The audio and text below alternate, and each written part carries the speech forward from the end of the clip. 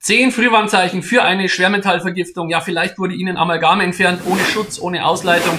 Oder Sie haben schon von der Giftigkeit von Schwermetallen gehört und haben sich schon immer gefragt, was macht das eigentlich für Symptome? Was macht das mit mir? Wenn ja, dann sind Sie hier richtig in diesem Video. Hier gehe ich über die zehn wichtigsten Symptome mal wie im Eilflug drüber und ich kann Ihnen eins versprechen, ich zeige Ihnen in einigen Augenblicken ein atemberaubendes Video, so dass Sie sofort verstehen können, warum sind Schwermetalle denn eigentlich so giftig und warum können sie so intensiv in unseren Stoffwechsel eingreifen. Ganz herzlich willkommen, mein Name ist Dr. Ulrich Selz, ich beschäftige mich intensiv mit den Schwermetallen, ich bin niedergelassener Arzt und zusätzlich habe ich ein Hobby neben der Chemie, es ist auch die Feuerwehr, ich bin also Fachberater für atomare, biologische und chemische Ereignisse. Wir haben hier in meinem Freistaat Bayern etwa 50 Sachkundige, die das machen und die Feuerwehreinsatzleitung beraten. Deswegen, ja, Giftstoffe, das ist ein kleines Hobby von mir und ähm, ich habe schon ja, mittlerweile zwischen 35 und 40.000 Schwermetallausleitungen gemacht. Also Schwermetalle, das ist so mein Thema und ich sehe immer und immer wieder, dass Menschen ja gar keine Idee haben und auch Therapeuten gar, gar, gar nicht daran denken, dass vielleicht hinter dem einen oder anderen Problem eine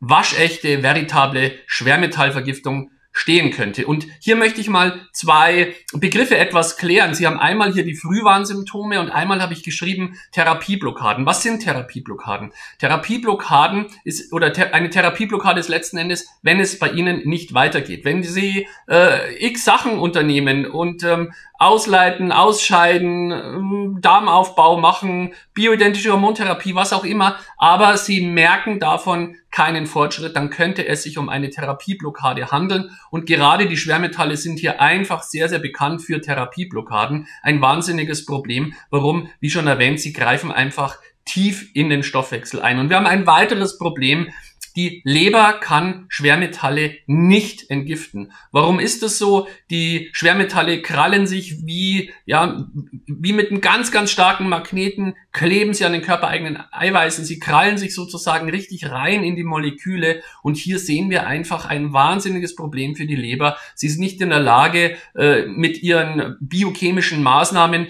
die ja im Wesentlichen darin bestehen, dass die Leber Giftstoffe umwandelt und dann ausscheidungsfähig macht, sprich wasserlöslich macht. Die Leber kommt hier an die Schwermetalle nicht ran. Vielleicht zum ganz minimalsten Anteil freie Schwermetalle, die gerade so in der Blutbahn rumschwirren. Aber der Großteil der Schwermetalle befindet sich eben im Bindegewebe, es ist abgelagert und äh, da klebt es einfach an den Metallen, äh, Entschuldigung, an den körpereigenen Eiweißen dran und das ist das Problem. Warum sind Schwermetalle giftig? Bevor ich Ihnen gleich diesen Film zeige, äh, gehen wir hier kurz drauf ein. Sie blockieren einfach den Stoffwechsel. Sie werden es gleich sehen. Man muss sich den Stoffwechsel ähm, als nichts Abstraktes vorstellen, sondern es ist äh, ja wie in einer Fabrik, wie in einer Automobilfabrik. Da werden irgendwie Moleküle rangeschraubt, Moleküle wieder abgeschnitten, zusammengefasst, rausgetragen aus dem, aus der Zelle. Lauter solche Sachen passieren da und genau das ist das Problem, dass eben Schwermetalle hier tief eingreifen. Und was, was machen sie noch? Sie blockieren die Leberentgiftung. Das heißt, ich habe hier schon auf meinem Kanal viele Videos zur Leberentgiftung gemacht und genau das funktioniert eben mit den Schwermetallen nicht beziehungsweise die Schwermetalle schädigen unsere Biotransformation noch weiter. Das ist ein Riesenproblem. Was sie auch machen, sie verdrängen Calcium, Magnesium, Zink, sprich, sie verdrängen die guten Stoffe aus ihren Verbindungen und äh, kleben sich selber in ja, Proteinverbindungen, Eiweißverbindungen rein und das ist ein riesengroßes Problem, was halt letzten Endes bis zum Auslösen von Krebs führen kann, bevor wir jetzt auf die einzelnen Symptome eingehen. Und äh, es sind gerade die sensiblen Gewebe, sage ich mal, die hier ganz besonders drunter leiden. So, ich habe Ihnen den Film versprochen und hier kommt er. Da sehen Sie jetzt mal eine, einen Elektro, also einen animierten Film es sind Aufnahmen von der Harvard University, die hat also diesen, Harvard University hat diesen Film in Auftrag gegeben und anhand von elektronenmikroskopischen Aufnahmen hat man hier also diesen schönen Animationsfilm erstellt. Wir fahren jetzt hier quasi mal mit der Kamera durch die Zelle. Sie sehen hier die einzelnen Strukturen, wie die Zelle im Inneren aufgebaut ist und Sie werden gleich biochemische Vorgänge sehen, wie hier beispielsweise wird eben jetzt eine Struktur aufgebaut aus Eiweißen, damit die Zelle ihre Form letzten Endes bekommt und auch erhält. Sie sehen hier ein, ein, Schneideprotein. Hier wird also eine Kette abgeschnitten. Wie von magischer Hand werden hier Strukturproteine aufgebaut. Und ich finde es immer wieder faszinierend, dieser Aufbau, dieser Abbau, dieser Stoff, Stoffwechsel ähm, finde ich ganz faszinierend. Ebenso hier dieses Motorprotein in diesem Müllsack da hinten, da sind tatsächlich Stoffe drin, die aus der Zelle rausgeschafft werden können oder müssen. Und so funktioniert es tatsächlich jetzt in dieser Sekunde auch in Ihrem Körper, äh, wo Sie dieses Video anschauen. Hier rechts oben im Bild sehen Sie also ein Mitochondrium, das so, Mitochondrium, das so ähnlich ausschaut wie so eine Seekuh. Und ja, Sie sehen hier, wie Proteine aufgebaut werden und wie sie abgelesen werden von der Messenger-RNA wie sie dann äh, gebildet werden, ja, so ähnlich wie Kinder mit Lego-Bausteinchen spielen. Und das sind eben diese Stoffwechselprozesse, die durch Schwermetalle blockiert werden können. Wieso, was, wieso greifen da Schwermetalle ein? Sie ähm, können eben diese Strukturen blockieren, sie können diese Funktion dieser Moleküle blockieren. Die Moleküle sind zwar da, aber sie können dann nicht mehr funktionieren und das ist das Problem letzten Endes äh, von Schwermetallen. Hier sehen wir wieder dieses süße Eiweiß, dieses Motorprotein, wie es das ein Giftsäcklein rausschleppt. Also man kann stundenlang zusehen. Ein grandioses Video, wenn Sie das anschauen möchten. The Inner Life of a Cell, das Innenleben einer Zelle. So, gehen wir aber zurück zu unserem eigentlichen Thema. Ähm, Schwermetalle sind gesundheitsschädlich, sind schwer gesundheitsschädlich. Es hat auch dazu geführt, dass hier Quecksilber verboten wurde. Sie sehen hier die Zahlen. Russland wurde Amalgam verboten 1985, äh, Japan ebenfalls, Schweden seit 1991 und die BAD hat es jetzt endlich seit 2018 zumindest für schwangere Kinder, äh, Entschuldigung, für Schwangere und für die Kinder verboten, aber letzten Endes ist es immer noch erlaubt, wenn Erwachsene quasi hier mh, hm, versorgt werden, dass Amalgam verwendet werden darf, ja. Und kommen wir hier gleich zum Thema. Das Thema ist, sind Hormonstörungen, das sieht man immer und immer und immer wieder. Frauen, die nicht schwanger werden können beispielsweise, haben häufig ein Hormonproblem. Dort gab es also von der Uni München sehr, sehr gute Daten, sehr, sehr gute Studien drüber. Immer wieder Abgänge, auch wenn die Frucht nicht hält. Warum? Ein Quecksilberproblem beispielsweise oder Hormonprobleme können hier einen Progesteronmangel beispielsweise auslösen. Und dieser Progesteronmangel ist dann dafür zuständig, dass die Frucht nicht mehr hält, dass Abgänge kommen, dass äh, die Regelblutung zu früh kommt, zu spät kommt, zu stark kommt, Brustziehen, Brustspannung, das sind Themen, auch Migräne beispielsweise, das sind ähm, Hormonmangelzustände, Progesteronmangelzustände, die ich Ihnen jetzt beschrieben habe. Und das kommt eben häufig vor, wenn Schwermetalle, vor allem Quecksilber im Spiel ist. Und ich habe diese Fälle in der Praxis immer und immer wieder äh, seit xx Jahren. Und hier, wenn man dann mal bioidentische Hormone verschreibt, also bioidentische Hormone sind Hormone so, wie sie im Körper vorkommen. Wir können also schauen oder wir können die Hormone so geben, wie der Körper sie produziert, nennt sich dann bioidentisch. Und wenn diese bioidentische Hormontherapie nicht vertragen wird oder wenn sie keine großen Erfolge zeigt. Und ich kann mir vorstellen, dass wahnsinnig viele Frauen unter diesem Video kommentieren werden, dass es genauso ist bei ihnen. Dann müssen sie an einen, an ein Schwermetallproblem denken. Das ist hier wirklich ein Tipp von mir. Das sehe ich ganz, ganz häufig, ganz, ganz häufig in der Praxis. Es kann natürlich auch noch andere Organe betreffen bezüglich des Hormonsystems. Wir wissen eben Fortpflanzung, Fortpflanzung, auch die Männer sind betroffen mit schlechter Spermienqualität. Wir wissen, dass die Schilddrüse ganz, ganz sensibel reagiert auf Schwermetallbelastungen. Hier gibt es also ähm, aus Amerika hat man Studien gezeigt, hm, dass eben Hashimoto-Patienten beispielsweise häufig an einer Schwermetallbelastung leiden, auch insbesondere Quecksilber ist hier beteiligt und dann kann es auch zu Störungen der Nebennierenrindenfunktion äh, kommen, also die Stressachse, Stichwort Adrenalfatigue, kann eben hier auch als Grundlage eine Hormonstörung durch Schwermetallbelastung haben. An das denkt keiner, ja? Wenn die Leute ganz, ganz lange behandelt und das wird zumindest nicht mal ausgeschlossen. Und dieses Video soll dazu beitragen, dass sie das auf dem Bildschirm haben und im Hinterstübchen und, und im Hinterkopf haben und sagen, okay, das, daran muss ich auch denken. Und wenn Sie so eine Regulationsblockade erfahren, dann denken Sie bitte dran, so an so eine Schwermetallbelastung. Gehen wir weiter. Ich habe gerade gesagt, Quecksilber macht häufig dieses Progesteronproblem und auch das Problem mit den Schilddrüsenhormonen, aber wir haben noch andere Schwermetalle wie beispielsweise Cadmium. Also bei Rauchern findet man sehr häufig Cadmium im Zigarettenrauch. Dort äh, geht es eben auf die Nebenniere beispielsweise und wir haben Blei, Blei ist ein Riesenthema, also nicht nur durch das verbleite Benzin. Ich habe das früher als Kind wahnsinnig gern gerochen an der Tankstelle, wem ging es auch so. Ähm, aber Blei ist immer noch äh, nach wie vor ein großes Problem für unsere Gesellschaft. Warum? Über das Wasser, über das Trinkwasser. Nicht, äh, wie das Trinkwasser aus dem Wasser, äh, Entschuldigung, aus dem Wasserwerk kommt und auch nicht, wie es über ihre Rohrleitung kommt, weil die Rohrleitungen sind schon lange bleifrei und es verboten, das Blei letzten Endes äh, dort als Rohrleitung zu verbauen. Nein, es sind die Wasserhähne. Und äh, selbst namhafte Hersteller schreiben jetzt schon drauf, bleifreier Wasserhahn. Das Geheimnis liegt hier leider Gottes in der Messinglegierung, die zum ganz, ganz minimalen Prozentteil eben Blei enthalten darf. Und so haben wir immer wieder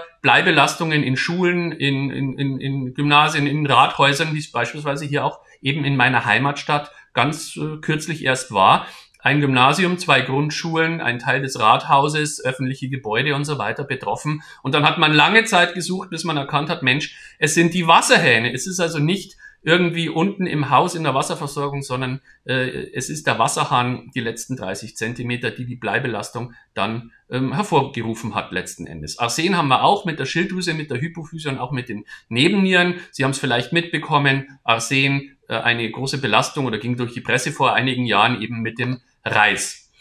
Schwermetalle haben eine ganz, ganz schlechte Eigenschaft. Sie greifen das ZNS an, das zentrale Nervensystem. Sie können hier äh, Konzentrationsstörungen als Frühwarnsymptom auslösen. Auch ähm, Lernprobleme und all diese Dinge können eben hier schwermetallbedingt sein. Konzentrationsprobleme, Gedächtnisstörungen, Vergesslichkeit und bei Kindern häufig Lernstörungen. Ja, ich finde Kinder mit Schwermetallbelastungen häufig dann über die Mutter weitergegeben, ähm, denn die Mutter kann sich blöderweise entgiften, sage ich mal, über, die, über das, den Aufbau des Fötus. Und hier gibt es auch wissenschaftliche Daten, dass das so ist, dass praktisch die Schwermetallbelastung der Mutter ins Baby, ins Kind übergehen kann, leider Gottes. Aber es kann mit den Nervenstörungen noch schlimmer werden. Und zwar es kann richtig zu Krankheiten ausarten. Denken Sie an die multiple Sklerose. Und was eben die Schwermetalle machen können, ist die Zerstörung der Myelinscheide. Ich möchte Ihnen das mal kurz skizzieren. Und zwar ist es äh, so, dass wir hier äh, ganz interessant im Körper den Nerven haben und die Reizweiterleitung des Nervens, Moment, ich schalte mal hier rum, so, äh, die Reizweiterleitung des Nervens, also durch den Nerven ist jetzt nicht so wie ein Fluss, dass hier die, diese Weiterleitung eines Nerven, angenommen hier hinten haben wir eine Hand, ja, und da vorne haben wir quasi das Gehirn und das Gehirn sagt der Hand, grob gesprochen, bitte beweg dich mal, dass diese Reizweiterleitung jetzt nicht durch die Nerven hier so durchgeht, sondern es gibt die sogenannten Ranvierschen Schnürringe. Das sind also hier, äh, Sie können sich so vorstellen, wie so eine, wie Donuts ungefähr um den Nerven herum. Und wir sagen dann, dass die Reizweiterleitung springt. Das heißt, die, der Reiz, ähm, der Befehl, der geht eben nicht hier wie ein, wie ein Boot, das durch den Fluss ähm, durchschwimmt durch, sondern es springt hier von Engstelle zu Engstelle, wie auf sieben Meilenstiefeln. Und dadurch geht die Reizweiterleitung sehr, sehr viel schneller durch den Nerven hindurch. Und das sind, wie gesagt, die sogenannten Raumvierschen Schnürringe. Und dieser die werden eben hier gebaut. Das sind also von, von Fett, so kann man sich das vorstellen, von der sogenannten Myelinscheide ganz grob gesprochen. Und das ist eben etwas, was dann leider Gottes bei oder angegriffen wird. Und dann haben wir das Problem, dass die Mm, ja, dass eben Nervenstörungen kommen können. Und so ist es eben hier. Multiple Sklerose, Zerstörung der Myelinscheide beispielsweise. Das kann unter anderem Quecksilber machen. Und ähm, es gibt Daten, dass eben Aluminium beispielsweise mit Alzheimer in Verbindung steht. Viele Patienten entwickeln dann eine sogenannte Polyneuropathie. Hatte ich heute auch erst wieder einen in der Praxis. Polyneuropathie, also ähm, Ameisenlaufen, Gefühlsstörungen an den, in den Beinen und so weiter, eben wenn die peripheren Nerven angegriffen werden und dann kommen eben Parästhesien, Gefühlsstörungen, dumm, dumpf, ja, dumpfe Reizweiterleitung und ähm, Störungen des Temperaturempfindens beispielsweise und solche Dinge. Was es auch geben kann, sind tatsächlich die sogenannten motorischen Störungen. Das bedeutet, wir haben also eine Verbindung zwischen Nerv und Muskel, also wenn die Hand jetzt zugreifen soll, dann muss ja quasi das äh, Signal des Gehirns über den Nerven weitergeleitet werden und irgendwann mal am Ende des Tages oder am Ende dieser Leitung auf den Muskel übergehen. Und hier kann es zu Problemen kommen, dass quasi diese muskuläre, dieser muskuläre Befehl oder diese Schnittstelle nicht mehr richtig funktioniert. Und dann hat man halt eben massive Probleme, seine Muskeln koordiniert äh, zu bewegen, beziehungsweise rauscht dann vielleicht sogar hier in einen Lähmungszustand hinein. Und wenn es ganz schlimm wird, haben wir Verhaltensstörungen bis hin zur Psychose bei Schwermetallbelastungen und Depressionen letzten Endes kann es auch geben. Ich möchte ein Fallbeispiel nennen. Ein Bekannter von mir meldet sich in der Praxis vor einigen Jahren und sagt, es geht ihm nicht gut, er hatte einen Unfall. Und sage ich, was ist passiert? Ja, er hat also hobbymäßig Bauzäune geschweißt, also diese grob maschigen Bauzäune und die werden halt immer wieder, wenn ein Baufahrzeug da rankommt oder durch ähm, Gewalt oder was auch immer, ähm, Randalierer werden die kaputt und da müssen die geschweißt werden. Und das war so sein Nebenjob.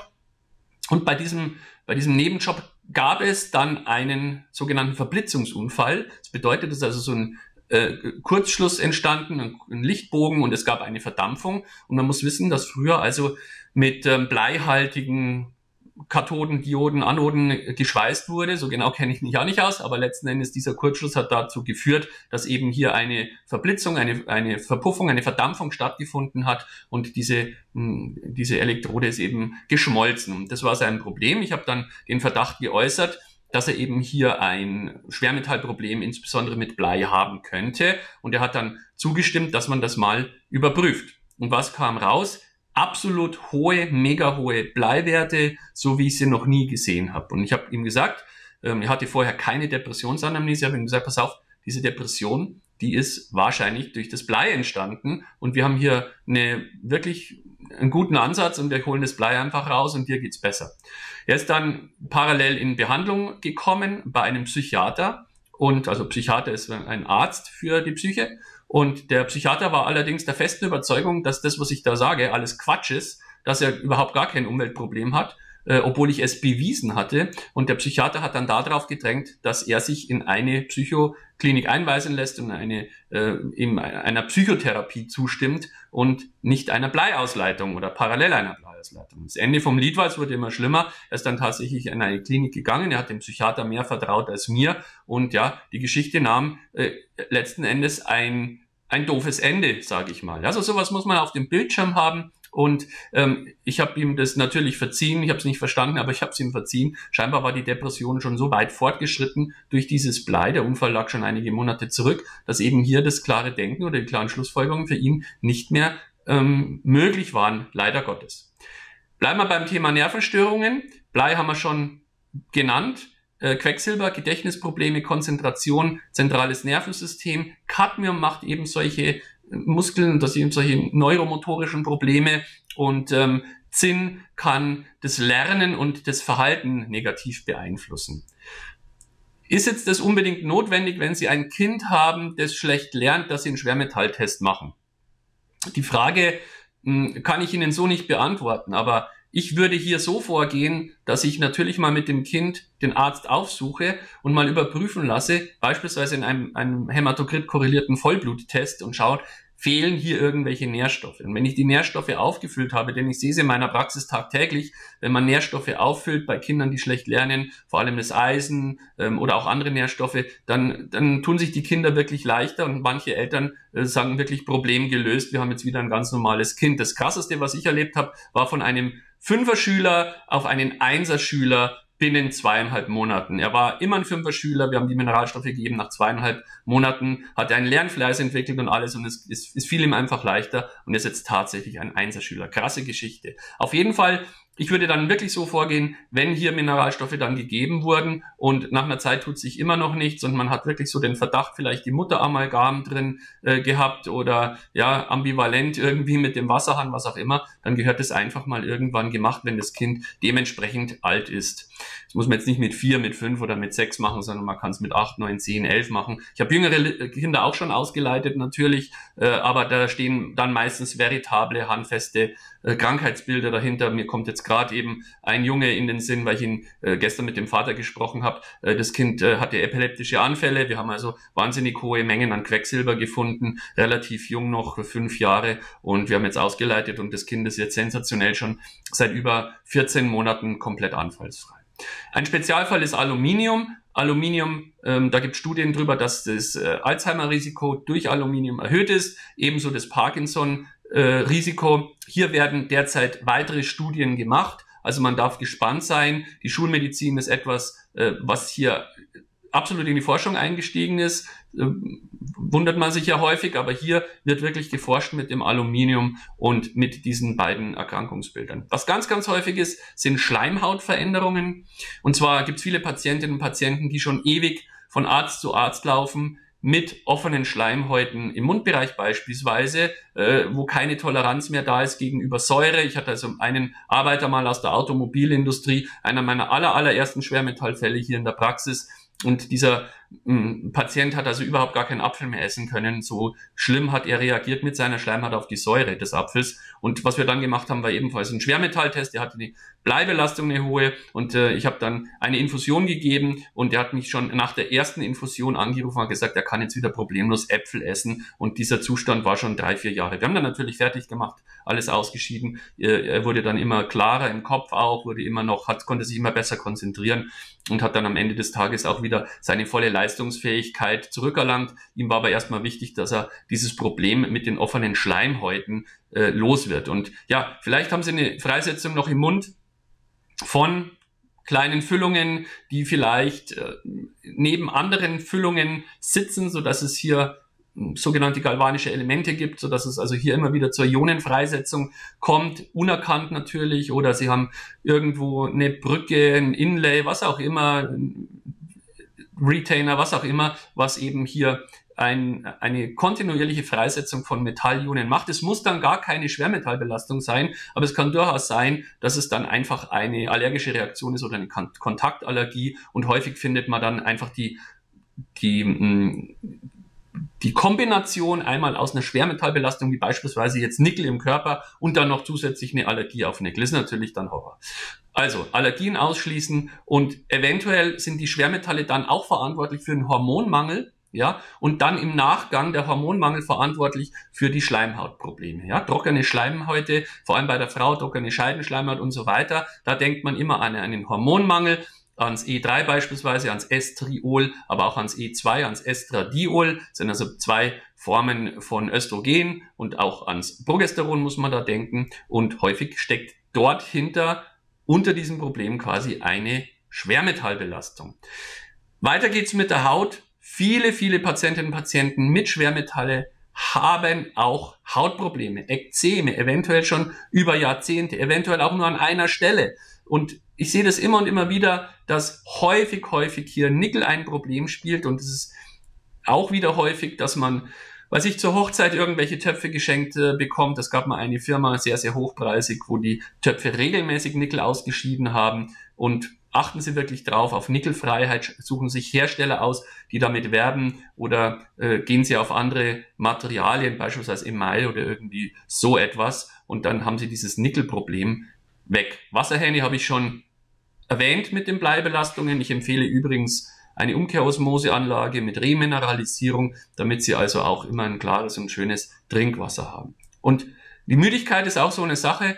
Man weiß ja schon, Blei an Müdigkeit, also Blei und Müdigkeit ist ein Thema. Und äh, Müdigkeit sieht man auch sehr, sehr häufig in, bei Schwermetallfällen. Dann heißt das Diagnose chronisches Fatigue-Syndrom beispielsweise, chronische Depression, äh, mittelgradige Depression, irgendwas oder mittelgradige Episode, was auch immer. Auf jeden Fall, es gibt hier einen, einen Zusammenhang und es gibt mehrere hm, Schnittstellen, wo sozusagen ein Schwermetall auch eben Müdigkeit auslösen kann.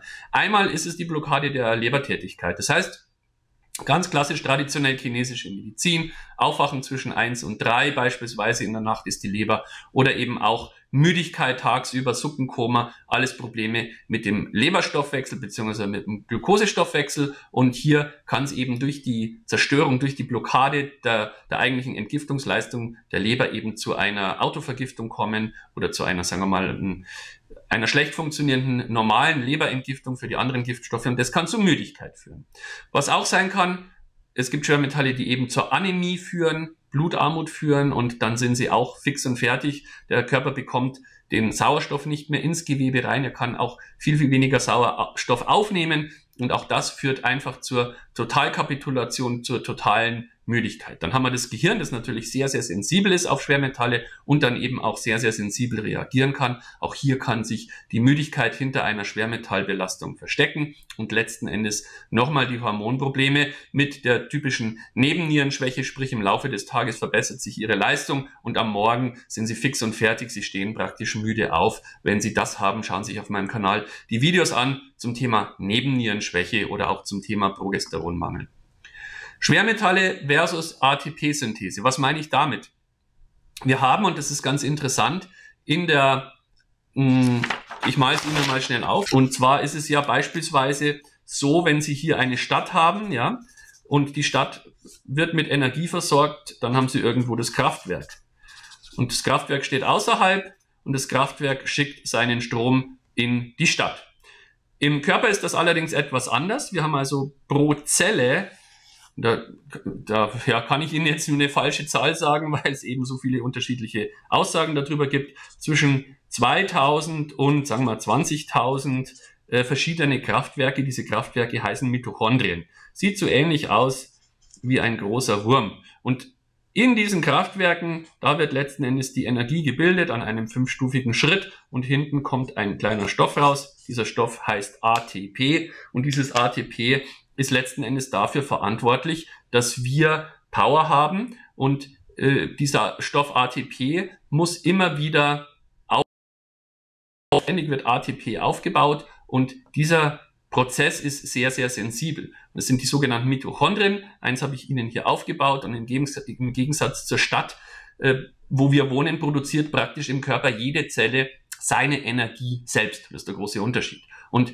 hier kann es eben Störungen geben im, in diesem oder während dieses Prozesses, dass eben immer wieder dieses ATP aufgebaut werden muss, eben im Elektronentransport oder Hemmung der Enzyme, beispielsweise das Coenzym Q10 oder es gibt ja auch Probleme äh, mit dem Kohlenhydratstoffwechsel beispielsweise. Die Schwermetalle können hier dann eine Störung machen im Kohlenhydratstoffwechsel und dann kann es zum Unterzucker kommen. Und auch hier haben wir dann ein Problem mit der Herstellung unseres Energieträgers, so ähnlich wie ein Brikett oder wie ein Superakku, der immer wieder vollgeladen wird. Muskel- und Gelenkbeschwerden, auch so ein Problem bei Schwermetallen. Warum ist das der Fall? Es gibt eine sogenannte neurotoxische Aktivität von Schwermetallen. Das haben wir schon gesehen, sprich sie greifen die Nerven an, aber sie können auch eben den Muskel, die Muskelzelle direkt angreifen und zur Zerstörung von Muskelzellen beitragen. Und sie können dann auch die Nervenübertragung vom Nerven auf den Muskel stören, die sogenannten Neurotransmitter sind hier zuständig. Es wird also, ich male Ihnen das auch mal kurz auf noch. Wir haben hier also den Nerv, der mit seiner Synapse hier quasi auf den Muskelbauch trifft. Also unten hier der Muskel, oben hier der Nerv, unten der Muskel und dann müssen gewisse Moleküle, die sogenannten Neurotransmitter, hier durchdiffundieren. Die werden freigesetzt und lösen dann hier praktisch die Muskelaktion aus. Und das versteht man unter Neurotransmitter, wenn man jetzt hier spricht von Neurotransmittern in Bezug auf Nerven, Muskelreizweiterleitung oder äh, Reizübertragung. So kann man sich das vorstellen. Also kann es eben dazu kommen, dass Störungen da sind und auch wieder die Enzymhemmung, was eigentlich immer ist, äh, Enzyme sind kleine Helferchen im Stoffwechsel und diese Enzyme, wenn die blockiert werden, dann können wir halt bestimmte Aufgaben einfach nicht mehr erledigen. Und dann kommen wir noch zu einem Begriff der Silent Inflammation, der stummen Entzündung. Das haben Sie bestimmt auch schon gehört. Schwermetalle können eben Silent Inflammation machen, eine stumme Entzündung. Eine Entzündung, die nicht jetzt ähm, mit hohem Fieber abläuft, wie beispielsweise eine Lungenentzündung äh, oder wie eine schwere Grippe oder was auch immer ähm, oder eine infizierte Wunde, sondern eine stumme, kleinere, leichtere Entzündungsreaktion, aber eine, die laufend da ist. Und diese Silent Inflammation, das ist etwas, was halt einfach unsere Blutgefäße überhaupt nicht mögen. Die können dann eben mit Arteriosklerose oder mit Herzerkrankungen, mit Gefäßerkrankungen reagieren, wollen wir das jetzt einfach mal ganz, ganz ähm, an der Oberfläche belassen, dieses Thema. Und dann haben wir noch der Klassiker, die sogenannten gastrointestinalen Symptome. Und der, ähm, für akute Schwermetallbelastungen oder akute Schwermetallvergiftungen liest man es immer wieder. Durchfall, Erbrechen, Übelkeit, der absolute Klassiker. So hat man also im Mittelalter die Leute malträtiert und vielleicht auf die Seite geräumt. Ja, die haben dann also schwerstes Erbrechen und so weiter bekommen mit Schwermetallbelastungen, mit Schwermetallvergiftungen. Denken Sie mal an Arsen und Spitzenhäubchen. Aber wir sehen ganz häufig bei chronischen Schwermetallbelastungen, dass eben die Schwermetalle auch die Darmflora ganz, ganz negativ beeinträchtigen können. Die Bakterien wachsen nicht in Anwesenheit von Schwermetallen und ähm, es kann dann eben auch zu sogenannten therapieresistenten Darmflora-Störungen kommen. Sprich, wenn Sie schon monatelang Bakterien essen und Sie haben wirklich ein hochwertiges Präparat, dann kann es sein, dass äh, die Schwermetallbelastung, häufig sieht man dann noch tatsächlich Amalgamfüllungen im Mund dieser Betroffenen, dass da eine Schwermetallbelastung vorherrscht und dass diese Schwermetalle dann tatsächlich die Bakterien am Wachstum hindern und deswegen sich ihr Mikrobiom, ihre schöne Darmbakterienwelt nicht weiter aufbaut. Bei mir Standardprogramm bei Morbus Crohn, bei Colitis ulcerosa schließe ich immer eine Schwermetallbelastung aus, damit ich ganz hundertprozentig sicher bin, dass ähm, ich kein Immunproblem bekomme, denn das ist das nächste, das ist aber kein Frühwarnsymptom mehr, sondern das ist schon eher ein, eine, eine Spätsache, eine Spätfolge von Schwermetallbelastung. Denn Schwermetallbelastungen können hier bei Autoimmunerkrankungen jedweder Couleur äh, eine ganz, ganz besondere Rolle spielen. Und schließlich noch Geruch und Geschmacksstörungen, die sind ja so wieder während der Corona-Zeit in unser Gedächtnis gekommen, dass es die auch noch gibt. Heute war eben ein Patient wieder da, ganz aktuell. Er sagt, bei mir sch schmeckt alles wie verbranntes Plastik. Das ist also seine Geschmacksstörung. Er hat ähm, in seiner Armeekarriere, er war in einer Spezialeinheit äh, und hat dort also mit Minen und mit allerhand Giftstoffen gearbeitet, mit Sprengstoffen und so weiter. Sie haben also auch äh, Sachen in die Luft äh, geblasen und so weiter. Der war richtig in einer Einheit, die sagen wir mal, scharf äh, geschossen hat und auch scharf trainiert hat. Äh, wir haben beispielsweise bei Sportschützen mittlerweile in fast allen, ich glaube in allen Bundesländern bei Sportschützen mittlerweile ein Verbot für bleihaltige Munition beispielsweise. Und wir haben auch äh, bei Schießtrainern bei der Polizei beispielsweise Bleiverbot. Früher waren es also bleihaltige Munitionen. Warum? Dort hat es eben eine sehr hohe Anzahl von Krebsfällen gegeben, so dass man also reagiert hat und hat gesagt, nein, wir müssen jetzt hier bleifrei schießen. Es gibt übrigens Sportschützen, die immer noch ihre Munition selbst gießen mit Blei. Ist Ihnen vielleicht schon aufgefallen. Sie kriegen im, im freien Handel kein Bleigießset mehr für Silvester, sondern es ist mittlerweile ein Wachsgießset. Das sind also alles Gründe, wie man eben still und stumm das Blei äh, aus dem Verkehr zieht, letzten Endes, dass, dass wir keinen Kontakt damit mehr haben. Und eben jetzt auch hat die Schieß- und Jägerszene letzten Endes ähm, auch zum Glück äh, erwischt, weil ich habe so viele Jäger schon gesehen, die wirklich eine massive Bleibelastung hatten.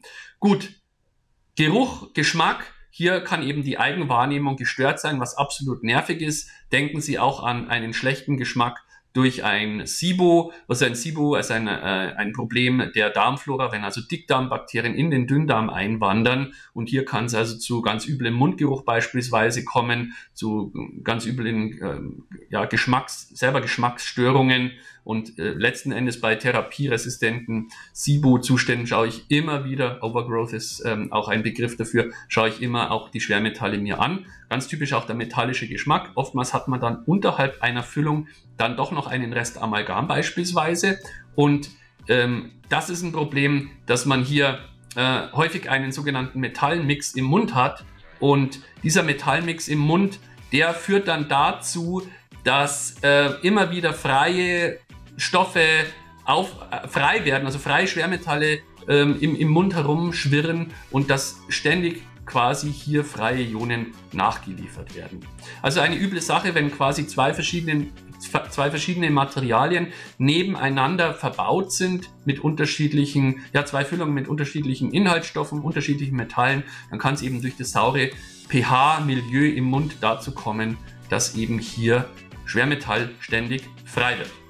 Meine Tipps zum Abschluss. Klären Sie die Schwermetalle ab, wenn Ihnen eines dieser Symptome ja nicht so richtig koscher ist, wenn Sie merken, oh, das, da könnte ich tatsächlich betroffen sein beispielsweise. Ja? Achten Sie auf eine gute Ausleitung. Auf meinem Kanal habe ich schon viele Videos dazu gemacht. Und glauben Sie bitte keinen Spezialisten, keinen, die Ihnen mit dem neuesten Schwermetallausleitungsmittel ums Eck kommen, sondern glauben Sie nur Ihren eigenen Laborwerten. Was wurde bei mir gemessen? Und die Blutwerte, die sind eben nicht geeignet. Sie brauchen einen Provokationstest, damit eben die, Schwermetall, die Schwermetalle, die im Bindegewebe, im Bindegewebe tief sitzen, raus gelockt werden, so können Sie sich vorstellen, rausprovoziert werden und dann im Urin sichtbar gemacht werden. Das sind meine Tipps. Schauen Sie sich meine anderen Videos dazu an. Lassen Sie ein Abo da, ich würde mich freuen und wir sehen uns beim nächsten Video. Bis dann, machen Sie es gut.